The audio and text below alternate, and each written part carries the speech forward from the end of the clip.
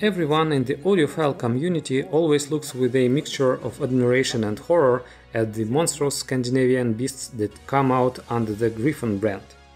We all know that it is always big, heavy, very beautiful, and infinitely expensive. But a few years ago, everything changed. The Danes made a budget amplifier. How budget? By Gryphon standards.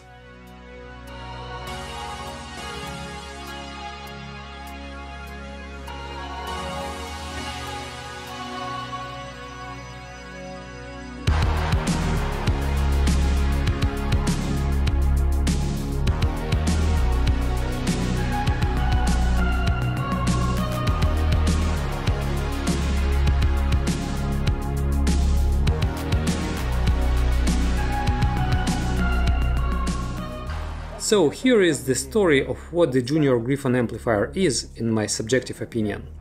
My name is Eugen, let's jump into it. To leave you in no doubt that the Gryphons are not kidding about what a beast of an amplifier they are building, they ironically name it Diablo. The Diablo 120 to be exact. The company has only two integrated amplifiers. The Diablo 300, the price of which starts at almost $18,000, and our current budget beauty, whose price starts at $12,000. Of course, one would have to be indignant. What? A budget integrated amp for 12,000? You're all crazy in your audiophile universe. However, despite the high price, I have to say that this is really a great step and a gift for all those who want to have a Gryphon amplifier in their home. And here's why. Gryphon says they could never make a separate preamp and power amplifier that offered the same level of quality for the same money as a good integrated amp. And partly because of its integrated design, Diablo is so good. Also, Gryphon tests every part of their devices. This means they have a history of tests for every piece of hardware they've made, as well as for every module, circuit board, and everything in between. That's crazy. As for the Gryphon production, all this is created exclusively in Denmark. However, Gryphon outsources some of the work to manufacturers of high-precision military and medical equipment. In this way, they get access to technologies and production methods which aren't available to ordinary civilian companies. Tricksters. As for our budget amp, I can't stop calling it budget. It sounds so sweet, like a budget Porsche. Like, you can already afford it. All you have to do is not buy 10 tons of millet, and you have a Diablo in your house. What's so complicated about that? Okay, but the concept of it mostly remains the same as that of the other Gryphon components. It is still the same uncompromisingly built thing with nearly SpaceX grade specs. Even this intricately cut case alone radiates audiophile perfection. Look at it for yourself, so elegantly put together complex shapes few can. In the audiophile world, you are either a voiceless beauty impossible to use, or a sweet-voiced buggy freak, at best a boring average. Love them for who they are. Diablo doesn't have that problem, but it has another. It was created by the 10 armed gods of design and engineering, so if you look at it in front of your woman, she'll almost centrally slap you for your lustful stare. And she would be right, it's a damn beautiful device that men desire. There are rumors that some audiophiles rub their lips bloody on its sharp radiators. But seriously, it's a really amazingly made amp. Every little thing in it exudes quality. Every line, every facet, every screw, and all of it together just looks really gorgeous. This non-magnetic and non-resonant metal housing has a handy touchscreen acrylic panel. You can read everything and it's easy to control. This amp is smart, but it also wants to seem simple, so it doesn't cause you complexes. Everything is simple in its interface, but still not as simple as your iPhone. There is still more to polish here. Okay, I can't stop singing dithyrambs to all this beauty. Let's see how it's built. Although, we still need to show its back panel. There are a lot of inputs here, spaced channel by channel. one balanced and four single-ended inputs, plus one tape output for the recording deck.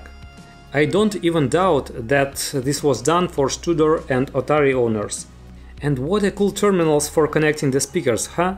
And above it all is a place to put an optional deck or a phono stage. Unfortunately, you should choose one or the other, you can't put them together.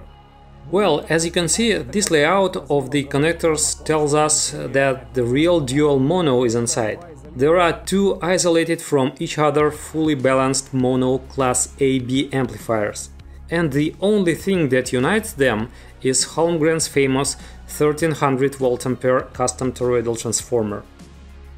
Moreover, these amplifiers are made with 2 and 4 layer PCBs with ultra short signal paths thick gold-plated copper tracks and cabling minimized. Of course, there is the most stringent selection of audiophile-grade parts like low-capacitance transistors and non-inductive diodes. Plus, they emphasize that special attention was paid to grounding, as in their top-of-the-line models. Each amplifier is powered by its own 60,000 microfarads capacitor bank.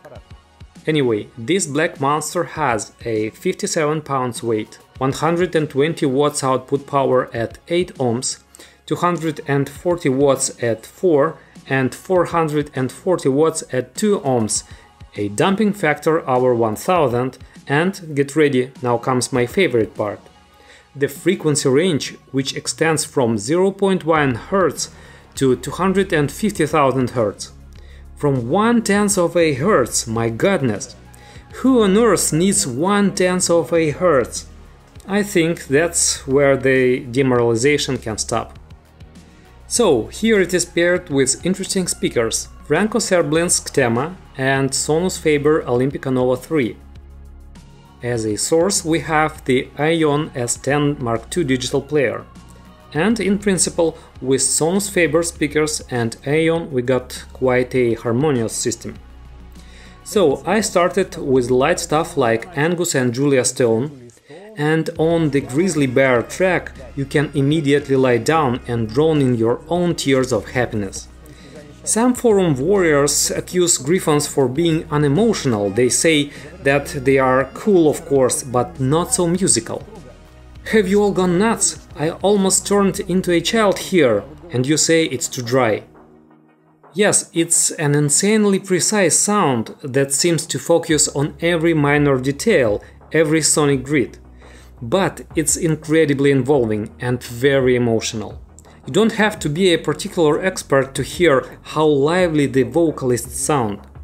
The Gryphons are flawless in their scene build, and you're not just listening to some light song. You literally see Angus and Julia turning to each other, they're really having a dialogue in front of you. The amplifier doesn't show any special preferences in the sound or coloration.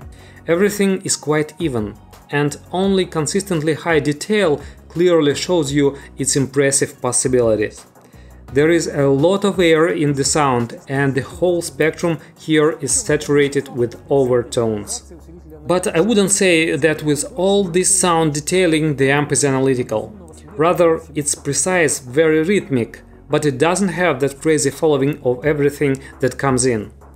It does allow itself a certain amount of relaxation, because it delivers recordings with imperfect quality quite comfortably, and it doesn't beat you up with flaws. It will be comfortable to live with such a sound. Here, for example, the vast atmospheric electronics of the Swedish duo Gidge envelops you with a thick, dense, like northern folk sound in which gentle voice is drawn. All this is covered by treble sparkling like frost, just a cosmic sound, very richly textured. Synthesized music doesn't always sound this cool, and the dynamics of Gryphon is really amazing. It is very powerful and when it needs to explode quickly, the Black Monster does it just lightning fast, and you feel that it stays tense and plays with its muscles the whole time. The bluesy stuff from the Little Hurricane duo sounds really open and detailed. The vocals just spread all over the place, they are pretty impressive and in general everything here has large, clear images. But it's interesting that the guitars are fast, energetic, but slightly subtle. I like the way Tony Allen's album with Jeff Mills sounds. It's quite bright with nice heavy low frequencies. There are so many details that you don't know what is more pleasant, rich bottoms or this amazing diamond treble. Great sound, everything is very large, three-dimensional, with impressive dynamic bursts. The dynamics here are such that the unprepared person can become neurotic. I love this. To feel all the evil of Diablo, I really wanted to listen to an album called Hail Stan by American progressive metal band Periphery.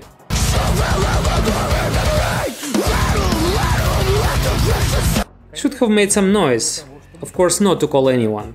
Here, by the way, at least shout out, the showroom has been in this building for so many years that only audiophiles are left among the neighbors. Some say that the dog of one of the families living above is able to distinguish between German and English pressings of the wall by ear and reacts to speaker cables that hide the dynamics in the mid-highs.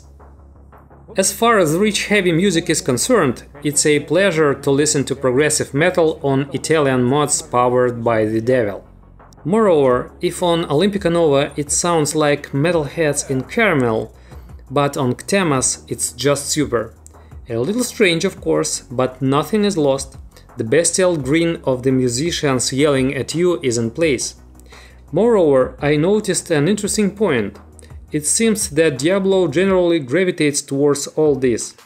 As a saturated moment in music, it is necessarily served juicy.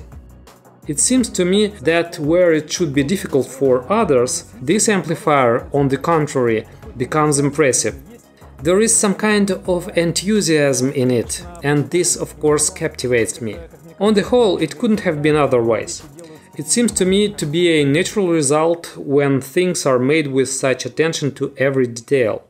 This attitude to the product Gryphon demonstrates very clearly. There are no unimportant on secondary things here, be it design, ergonomics or sound quality. Yes, something tells me that not everyone can afford it but that doesn't negate all of its virtues. Besides, I'm very much impressed by the fact that the dance managed to make very emotional things that can speak directly to your heart. So I say the amplifier is simply magnificent, albeit very expensive. A dream.